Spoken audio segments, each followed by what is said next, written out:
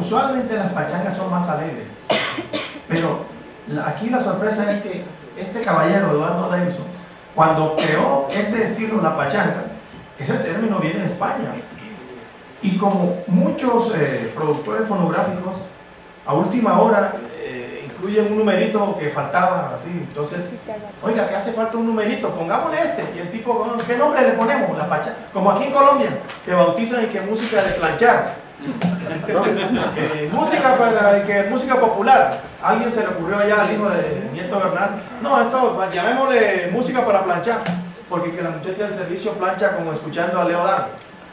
Eso es una cosa relativa, Entonces, en la industria discográfica muchas veces masificó los nombres de los géneros.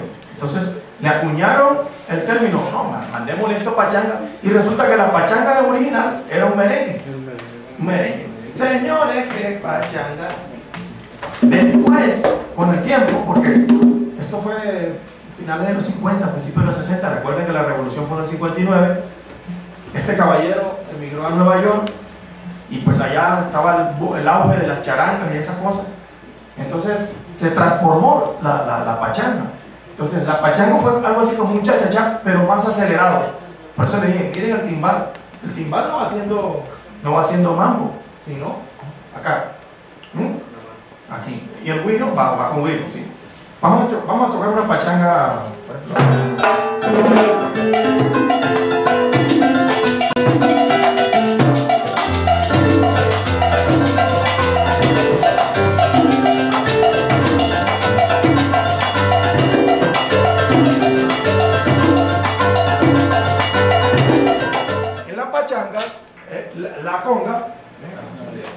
Usualmente tiene, varias, tiene variaciones.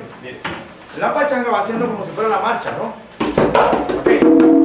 Pero a veces, en algunos casos, hace esta variación, que fue lo que Tito Rodríguez y en los años 50 hubo la confusión, que le llamaron esto y que dice que ritmo charanga. La charanga es un formato.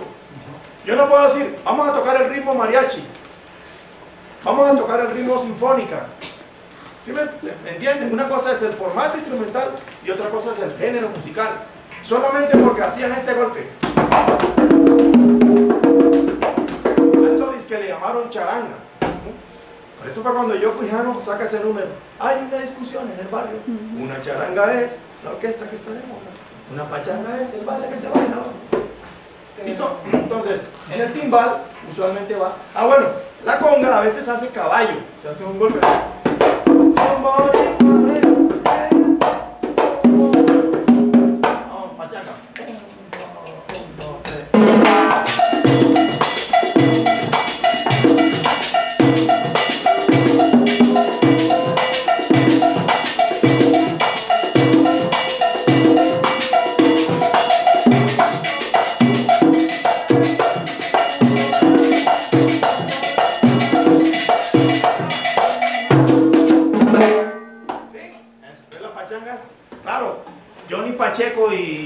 que estaban en Nueva York en el boom de, del auge de la industria, la pachanga, mejor dicho, fue, a la salsa lo que la milonga al tango, algo así. ¿sí? Porque la pachanga fue que le dio auge a, lo que llamamos una salsa, porque esa fue una música para bailadores. Pues claro, si yo bailo, vacilo, qué rico vacilo, ¿ok? Pero cuando me salga, ¡eh, bonita! Mucho más alegre la pachanga, o sea, se prestó más para el bailador. Entonces tuvo auge en Nueva York en los 60 y los 70 y fue el boom de los pachangueros. Las orquestas salseras, escuchen Cali Pachanguero que fue grabado aquí en Bogotá en el año 80 y qué, 84, 85 por ahí, ¿no? Le incluyeron bongo. Las orquestas salseras rompieron todos los formatos de los años 70, porque anteriormente las orquestas respetaban los o sea, eran fieles tanto a los formatos como a los géneros. Entonces decía, vamos a tocar un chachachá. Entonces, tenía, digamos, un esquema, como una forma. Pero hoy en día usted le dice, vamos a tocar un mambo y lo hacen con diferentes formatos, diferentes estilos, bueno, en el arte y en la música y en la vida no hay regla, ¿no? Pues, cada artista hace su propuesta, ¿no? Mozambique, esto fue por los años 60 Veamos. Valero, Mario Kendo, tomaron este estilo y lo, lo, transformaron, pero siguieron con lo que llamaron la línea dura. O sea, esto es música para otro público, no para el romántico. Bueno, más o menos un golpe de Mozambique es así, ¿verdad? Así, bueno. Primero, aquí se rompe la, el esquema de la marcha, si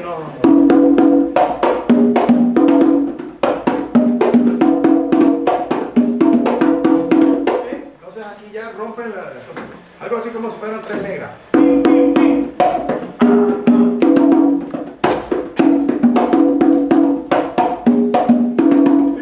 Y en Nueva York, por ejemplo, escuchen Mozambique de Ricardo Rey. Eh.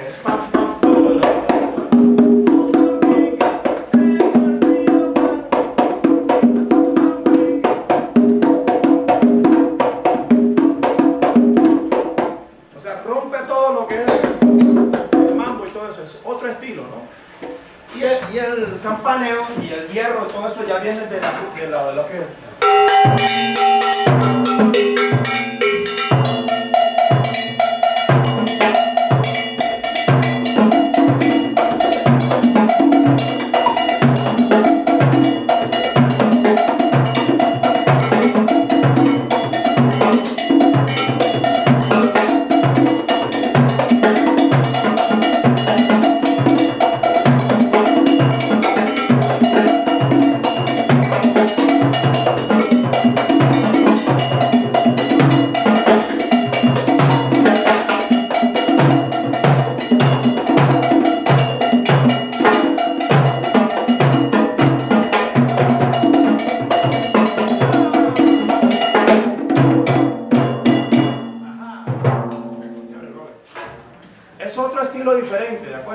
esta música fue de los años 70 y Palmieri y eso lo, lo, tomaron para, para hacer música para bailador más de barriada, ¿no? no, no para música romántica.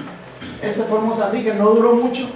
Hoy en día casi que no tiene mucha vigencia esto de Mozambique. Muy rara las orquestas que, que toman este estilo y lo incluyen en su repertorio. Muy raro, ¿sí?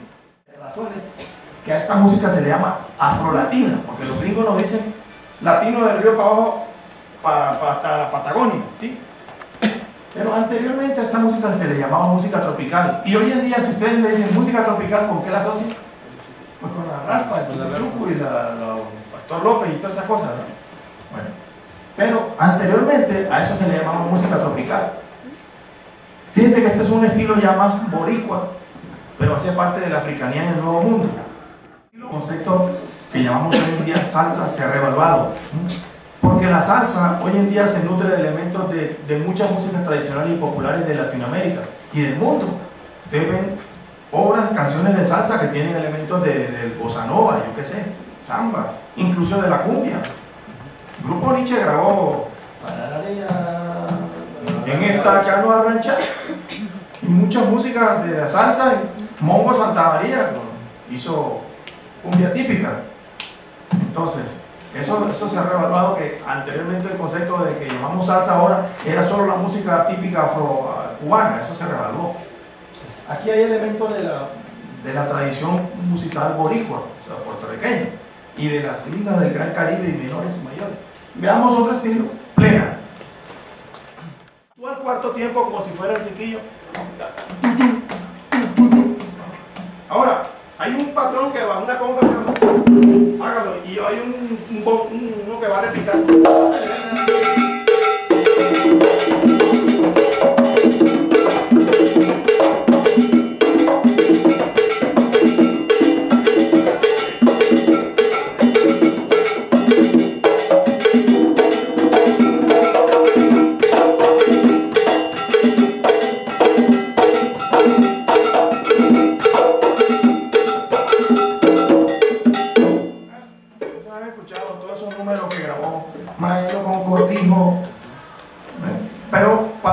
Una transferencia.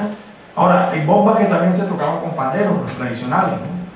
como es el caso de la, de la plena que vamos, a, que vamos a escuchar.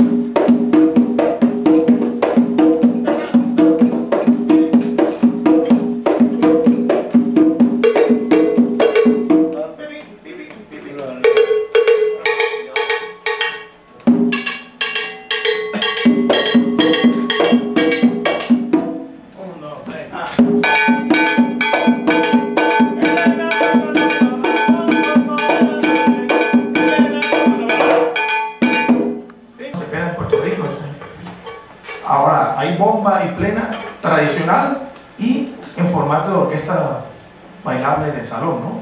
Son cosas diferentes. Pasamos a otro estilo, oriza. ¿Lo conoces? Esta palabra venga de los orichas, ¿no? Vean, rápido. Acentúa el tercer y cuarto tiempo. Pues fuera, 1, 2, 3, 4. 3, 4, 1, 2, 3, 4. 2, 3, 4. O sea, 1, 2.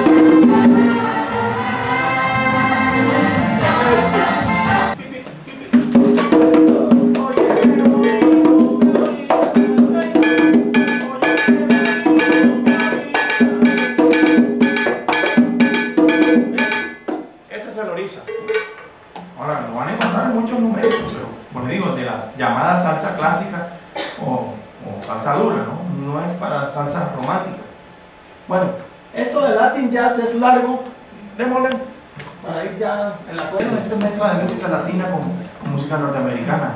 Esto fue una época de los 60 que también había crisis de, la industria de los músicos también.